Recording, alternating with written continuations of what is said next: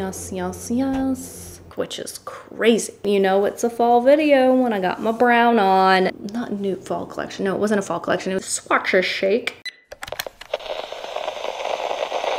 Hi, I'm Mallory Brooke, makeup artist and content creator here on YouTube, and today is all about my top picks for fall lips. I do this every season, every year, because they are some of my favorite videos to do. They're not my most popular, but they're my personal favorites to do because I love coming up with lip combinations. And if you follow me on Instagram, then you know that I love posting about lip combinations over there, as well as create videos for the season. So today are my top six lip combinations for fall, ranging from nude all the way to this beautiful bold red lip that I'm wearing. Normally I don't wear a lot of color. This year I've really challenged myself to wear more color in my makeup and I'm finding that I really enjoy wearing bold lips, not just in videos, but out in the public, which is crazy. The first lip combination that you're about to see is my pick for fall for a nude matte lip. I love nude lips, but I feel like a matte lip combination can really just give you that fall polish that you need to pull off a nude in the fall. For lip liner, I chose the Tower 28 one liner multi-liner in Work of Art. It's a really nice neutral nude. And right over that, I chose Gen C's lipstick in Margaret. This is a beautiful matte formula. If you're not familiar with Gen C, then you really need to try the brand. I really love their lipsticks. I think that it's a really cool brand and their packaging is super nice, but the lipsticks are just absolutely kind of my favorite from the brand. So if you try anything, try the lipsticks. Margaret is just such a beautiful, very neutral, almost cool undertoned mauve nude. That's why I think it's beautiful for fall. So if you're someone who really doesn't go into different colors for fall, I think switching up your nudes is a really nice way to kind of dip your toe into something a little bit different. The next lip combination is for all of my gals and guys out there that aren't really comfortable with a bold pop of red, but you want something more than a nude, then this lip combination I feel like will give you that perfect mix of bold yet subtle enough to where it won't freak you out, but it's definitely a beautiful combination for fall. That is the Anastasia Beverly Hills lip pencil in the shade Parchment and YSL's new bold lipstick in the shade 1968. I have been wearing 1968 1968 forever. Like as soon as it launched, they sent this to me and I was like, I can't put this lip down. It is so beautiful, but with parchment, it gives a little bit uh, more warmth there because 1968 leans a little more berry than absolute like warm red. So the warmth in parchment really ha has like a nice like counterbalance there. And I love this lip combo, not only for fall, but I've been wearing it kind of nonstop recently for that pop of color, like I said, out in public. It's not crazy bold, but it gives you something there. And I think that these two together are really a nice go-to every day for fall. The next lip combination is for all of you who love a good berry lip, and I feel like this is a great classic berry lip. And oh my gosh, the lip combination is another one that I haven't stopped wearing since I kind of like played and discovered the lip combination for Instagram. It is the Charlotte Tilbury Lip Cheat in Pillow Talk Medium, Pillow Talk 2 Medium, so it's a deeper shade of Pillow Talk. And then right over that, Merit's Signature Lip in the shade Fashion, which is just this beautiful classic berry lip that when I was a little girl and I thought of lipstick, this was like what lipstick looked like to me in my mind was this type of berry lip shade. And I think that this lip combination is perfect if you are more of a berry toned lover rather than a red toned lover. This is gorgeous for fall. Next is a lip combination. You know, it's a fall video when I got my brown on. This is such a beautiful warm brown lip combination for fall. It makes me want to throw on that heaviest sweater I own and light the most pumpkin scented candle I own and turn on fireplace that I own also now that I haven't used yet because this is a new house.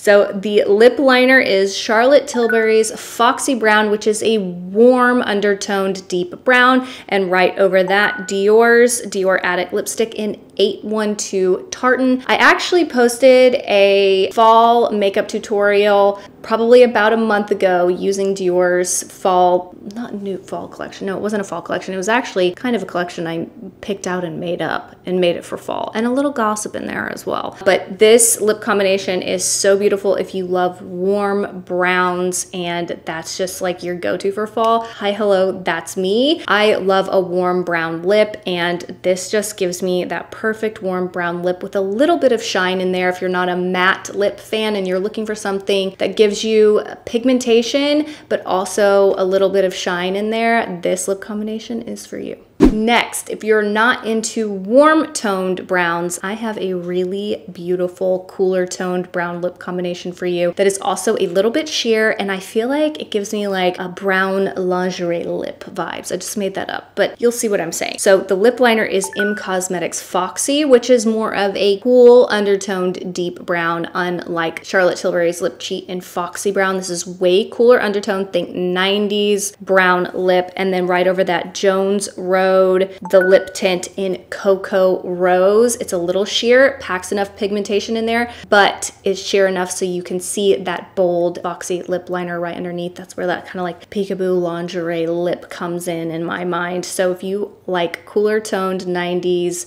brown lips for fall. I think you'll love this lip combination. I love the Jones Road uh, lip tints. They are very comfortable on the lips. They're a little less glossy looking than the Dior Addict lipsticks, but definitely give you a little bit of shine and comfortability. And they also look beautiful without lip liner.